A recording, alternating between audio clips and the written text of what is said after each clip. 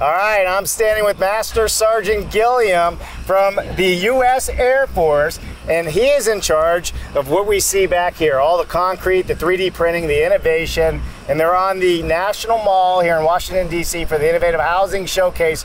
Master Sergeant, why are you here? So we're here to display the capabilities that our new 3D printer has. This is the only one in an operational unit in the military right now. So we acquired this through innovation funds through my uh, command staff inside Yeah. of CE. So this has both military as well as civilian implications that we can Sure. use this for. Okay. So really stoked. Uh, a primary facility for us is what we call a B hut, so a 16 by 32 building. Yeah. So we can use it on the military side as well as deploy this to some sort of disaster zone, and we can Right. quickly put up uh, some sort of housing shelter uh, within a day. So we're looking to be able to print that. Uh, We would have to do it in four Right. sections based on that uh, device. Sure. But we could print one in a day. And the product that we use within 12 hours has already reached between four and 6,000 pounds PSI.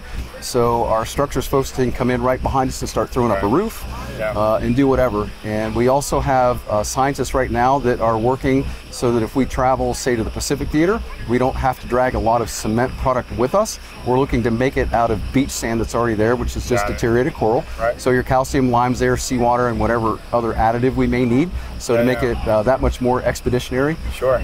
That's the first time I heard that, right? The sea coral, and it makes a lot of sense being able to do that because it's pretty much surrounds every nation, country, somewhere you would think. Yeah? Yes, sir. It certainly does. That would make a whole lot of sense for distribution and logistics. Yes, sir. And if we're on an island that, let's say, we need four components and that island only has two or three, let's Yep. go to another near island to see if it has the fourth.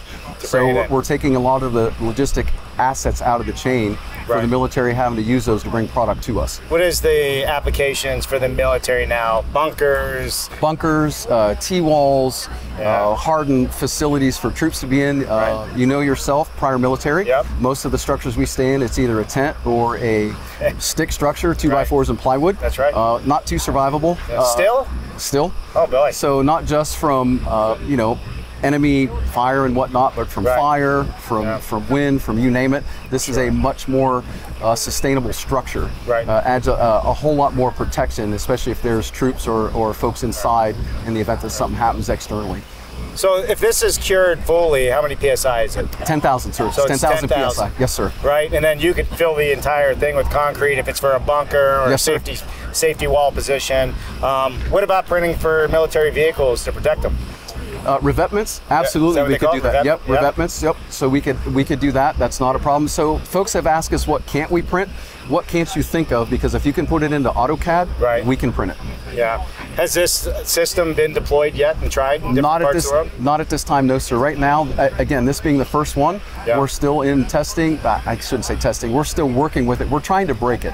When I say break it, that's in a good way. We're trying to push the limits of Right. it so we know what those limits are and how far we can get with it. I love the military because you play with million dollars pieces of equipment, you get to break them sometimes. Yes, sir. Just pushing them to the limit. So super cool. You've been you've been serving this country for how many years? You said Uh, it's about 37. I've been in since 1985. So 37 years. So give a round of applause for that.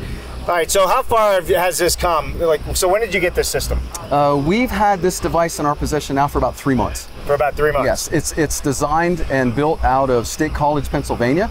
So we XHAB is the company that we acquired it from. Sure. So once we had it, we spent a week there, my team and I, being trained on how to use it. Uh-huh. Uh, great knowledge. Those people there are just Right. it, it- it's wow. The knowledge that's there and what they came up with. It's a great product. So of course, then we went through it from a contingency aspect and said, oh, here's some things that should be improved, some things we think are missing. Right. Because you know yourself, we're going to take this to some areas that aren't really all that Right. conducive to you know construction. That's right. Uh, so we've asked for some improvements. So the second one that they're in production with now, which is going to go to an Alaska unit, Okay. they're actually incorporating some of those changes. How do you deal with the terrain, right? This is the biggest thing. You got gantry units out there that do 3D printing. This is a tracked unit that does 3D printing. When you get into theater and you need to put some safety up right away or, you know, something, how, how is it dealing with all the unlevel surface? So we would take our EAs with us. They would go out and do a quick survey of the site that we're Yep. going to print on. Normally, you would want some sort of a concrete pad there, but in a contingency environment, if we need something uh, in an expedient method, Yep. uh, they would do a quick soil test for compaction as long as it meets it.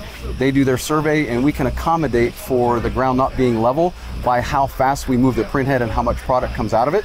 Okay. So if you're off a degree or two from you know one corner to another, we can compensate with how that prints until it's level. So you'll print your own footer, and it'll compensate the depth of the footer, so you have a level top, but it fills in underneath. Correct. We could program that into the application that we're Right. using to print that structure. And for people who don't know, like the LiDAR system scans the ground and it'll give you the contours and everything, and then you're feeding that into the system, Yes. which then allows you to print it to accuracy with all the data. Correct.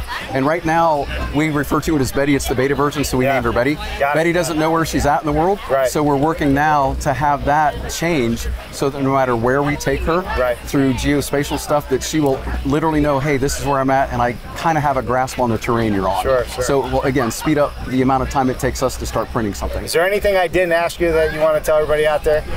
Uh, not that I can think of, sir. You pretty much covered all of it. We're very excited to have it, Yeah. and, and we're very eager to get it out and start doing great things with it. Well, I, I love it. Master Sergeant, thanks so much for coming on the show. There you have it, everybody. U.S. Air Force is in the game of building it better, keeping our troops safe wherever they are, and help, helping in natural disaster areas. I'm Dave Cooper, Master Sergeant Gilliam. See you next time.